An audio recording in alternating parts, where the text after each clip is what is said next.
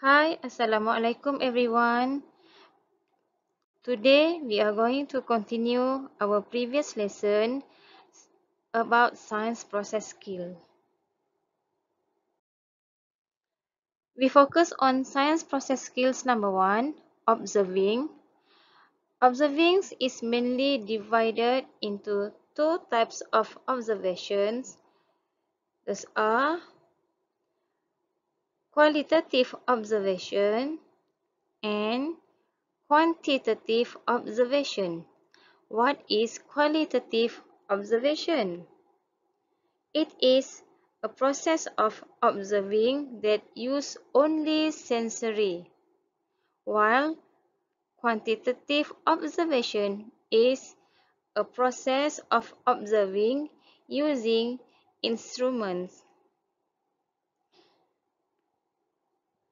These are parameters involved when you carry out an observation. Size, shape, color, number, condition. Condition is quite general. For example, condition of health, uh, freshness, condition of plants, whether it's uh, grow well or wilted, dry, type, height, weight, texture. Texture means, uh, for example, when you touch, um, you can identify whether it's soft, hard, uh, smooth texture, fine material, coarse materials, smell, sound, temperature, and many others. Okay, look at this example. Actually, this is from Science Year 2 textbook, page 2. Siapa yang ada adik tu boleh tengoklah buku teks yang year 2 ni ya. Okay. Look at this area. In this situation, uh, children helping their mother in the kitchen to prepare dough to make bread. Okay. Initially, the size of dough is like this. Okay, after an hour, uh, it's already changing.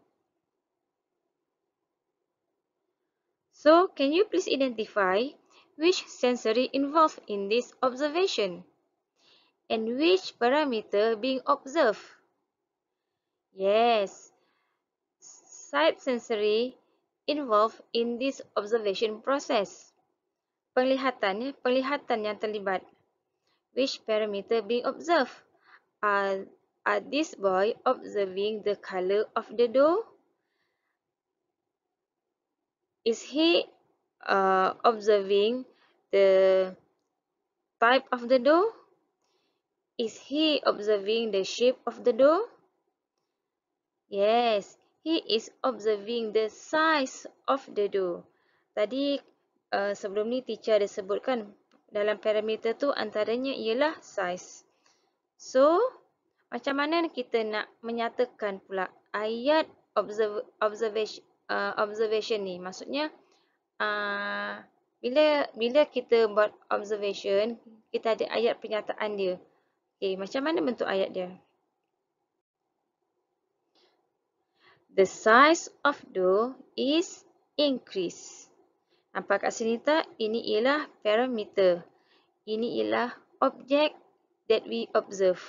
Dalam uh, observation statement, dia mesti ada parameter and also the object. Look at the next situation. Okay, kali ini ialah comparison observation. Maksudnya ialah pemerhatian perbandingan because there are two object. Uh, yang tadi only one dough. This one kita guna situasi lain, kita guna lembu but there are two cows in this situation. We name it cow P and cow Q.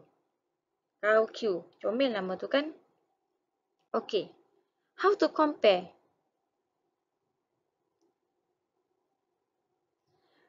cow P is healthier than cow Q.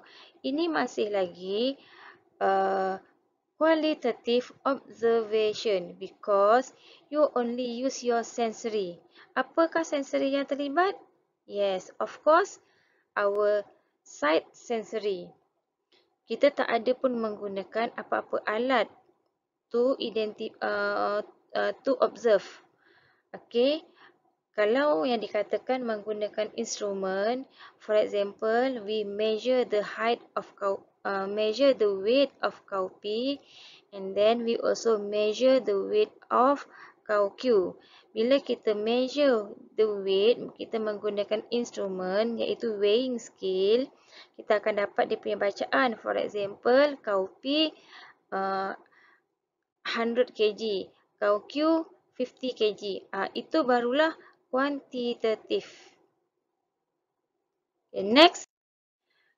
This is also comparison observation. Tetapi yang ini ialah dia ada more than three objects. Plants X, Y and Z. So macam mana kita nak buat statement dia? Ha, tengok ni. Plant X has the least number of leaves. Ha, tengoklah yang ni X kan? Okay, kita tengok yang ini. Okay, ataupun, okay, lagi satu cara kita boleh juga tulis. Plant Z has the most number of leaves. Ha, yang ini. Ha, tak perlulah kita nak explain tiga-tiga ni. Okay, kita ambil yang the, the, yang paling lah dalam bahasa Melayu yang paling. Contohnya yang paling, uh, itu kalau paling apa-apalah paling besar, paling kecil, paling berat. Ini pun masih lagi uh, kualitatif ya sebab kita tak menggunakan instrumen. Hanya menggunakan sensori sahaja. Uh, kan? Okey. Uh, kalau lebih daripada tiga, contohnya, uh, okey, dekat sekolah ada 33 orang cikgu kan. Uh, so, kamu buat observation. Uh, nak tengok dia punya apa ya condition. Uh, tadi condition pun termasuk dalam parameter. So daripada condition tu uh, awak boleh buat pernyataan dia, statement dia. Teacher Afifah is the most beautiful teacher in the school. Ah uh, tu contoh, contoh sahaja ya. Ah uh, contoh. Okay, try this. Ah uh, yeah, you see there are two magnets Tengok dia punya poles south, north, south and north ya. State your observation when two magnets with different poles brought close to each other. Okay, so macam mana buat statement dia? Siapa boleh cuba? Ada yang nak cuba tak? Okey, baik. Kalau dah cuba, kita tengok contoh jawapan dia. Ha, senang je. Dia ada objek dekat sini. Kemudian adalah parameter dia iaitu condition dia kan. The magnets are attracted to each other. Ini pelajaran bila ni? Ingat tak? Ha, dah lupa ke? Ini ialah pelajaran semasa kamu di tahun ha, pandai tahun satu. Okey. Itu saja. Thank you. Till we meet again.